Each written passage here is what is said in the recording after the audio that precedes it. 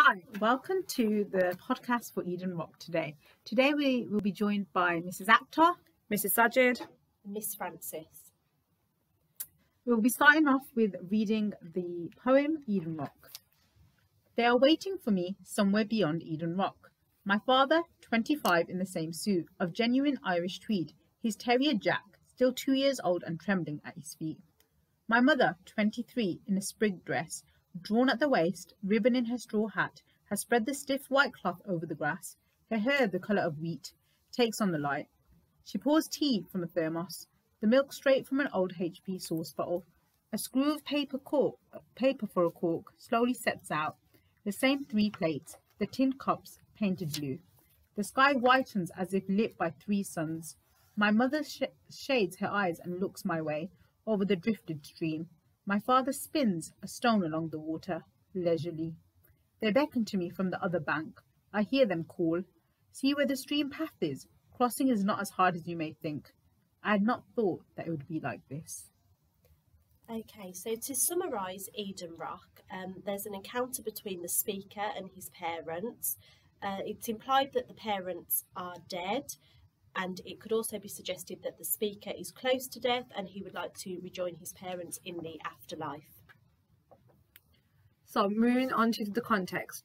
So Causley himself had actually lost his father when he was seven years old, and his father was um, had passed away because of um, injuries from the First World War. Now Causley, as he grew older, didn't actually get married, and he kept himself very private. And though he was told many times to write an autobiography about himself, he ch- he chose not to, and he stated that all his information about himself is actually written in his poems. So if you read them, you'll learn a lot more about him. Okay, let's take a look at the themes. Um, so, identified within the poem, there could be the um, relationship between a parent and child. We've got the theme of childhood, um, nostalgia, um, religion, and also um, the family love that can outlast separation as well. So now we're going to move on to the language used in the po- poem that shows us exactly how um, he feels in here. So to start with, he begins his poem by talking about his mother and father, and he states that my father, who's 25, in the same suit of genuine Irish tweed, his terrier Jack. When he's stating this, he's giving us a range of adjectives describing what his father looked like, and the visual imagery that you can see you can see him obviously shows that he looked up to his father, he studied his father. So his father was someone who was very um, who was highly valued and a big part of his life. Um, and it's the same with his mother. So when he talks about her as well, he actually refers to exactly her outfit, um, the spriggy dress, drawn at the waist, even the way she's tied it up, the way her hair was.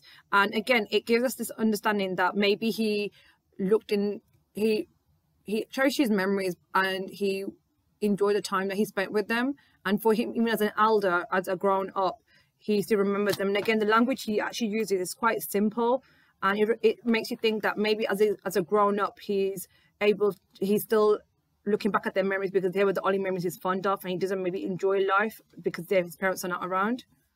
Um, then, go on.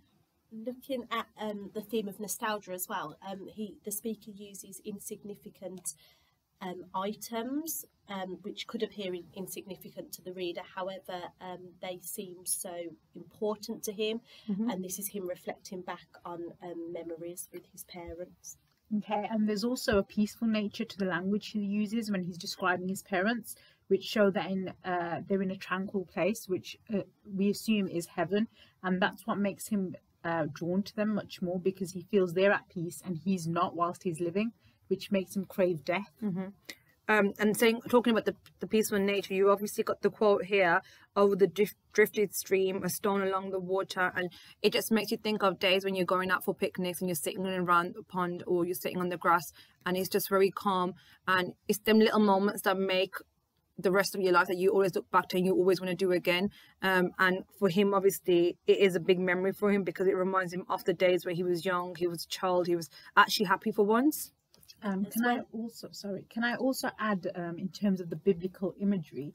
Um, they talk about the white cloth that's um, put out when they're um, about to have a picnic, and he's actually talking about the past but you could also deem that he may be talking about the future and how he craves for that moment and maybe his mom setting up that picnic in the future as in in heaven waiting for him to join them for that picnic So it could be quite So- symbolic yeah there so the color white is symbolic in that sense for for heaven, which obviously represents purity as well. Uh, Misty, do you want to say anything? Yeah, alongside that, um, you know, Eden Rock itself, um, you've got the mention of the three suns, um, as, as mentioned earlier, the drifting stream. These are all um, references to stories in the Bible, so um, that's where we see that biblical imagery as well. Um, that could signify um, that Causley was quite a religious person, and he did believe that his parents were uh, had passed away for a reason, um, and that's why at the end of the text, when he says that he did not feel it would be that way, um, oh yes, is that he he says, "I had not thought that it would be be like this." Yeah, he may be suggesting that he's contemplating suicide. Even though he was religious, he was contemplating it, um, which shows that he's in a battle within himself. He wants to be with his parents, but he doesn't want to um, not follow the rules. I of guess we could look at the structure as well, couldn't we? Yeah. With um, that final sentence, um, short sentence of the poem, um, it really shows his uncertainty surrounding his decision whether he wants to stay in this life or join his parents in the afterlife. Yeah, and there's definitely a tonal shift between the last line that's singled out and the rest of the poem. So the rest of the poem is in um, quatrains, and the final um, stanza is three lines, and then it goes on to the single line, which represents the tonal shift and also um, the fact that he's changed because the first half of the poem focuses more on his parents and happiness, and the second part of the poem focuses focuses more on how he wants to join them, how he wants to be with them, and that he's finding that really challenging. and then that last sentence, like you said, it's that impact it makes. It's like it's it's like he's declaring something, but it's not so explicit. So it's make it's leaving us as the readers trying to figure out whether he is going to obviously do something to try and join them and hurry that process or not.